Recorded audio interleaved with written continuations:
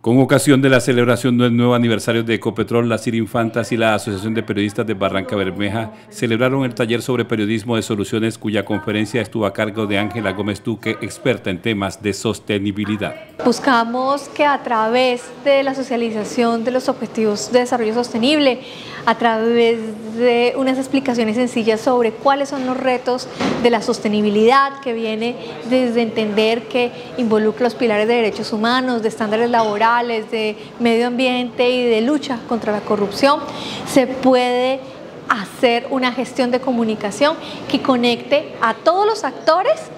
para dar soluciones al planeta y al final eso se convierte en periodismo para soluciones. Estudiantes de comunicación social junto con veteranos del periodismo local y regional participaron de este taller. Primero que aprovechemos estos espacios. Siento que estos espacios son los más importantes, de pronto a veces uno los ve como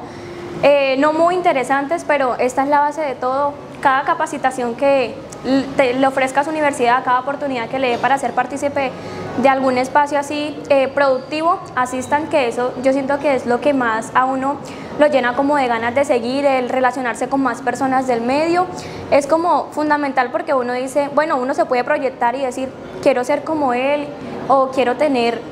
tal aspecto que tiene esa persona y eso es lo que a mí me gusta y siento que nos mantiene como activos como comunicadores, aprovechar cada espacio y cada oportunidad que nos brindan. La compañía de petróleos anunció que continuará en el apoyo de este tipo de encuentros en beneficio del gremio periodístico de la región.